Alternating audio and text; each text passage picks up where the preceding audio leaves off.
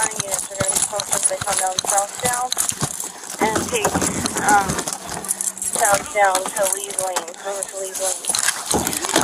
All units are southbound to Lee's Lane. Yeah.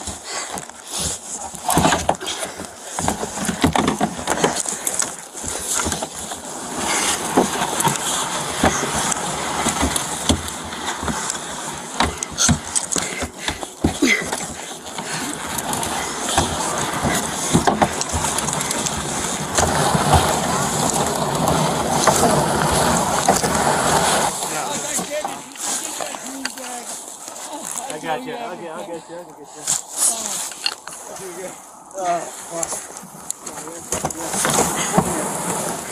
Any unit know if the one that was up on the kayak, the victim up on the kayak made it to shore yet? Four Baker 3 is with the victim. DNR is putting them in the boat right now.